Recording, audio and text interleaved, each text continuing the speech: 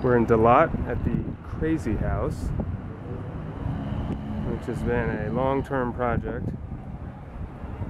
It's a boutique hotel. The architect is the daughter of the second president of Vietnam after the war.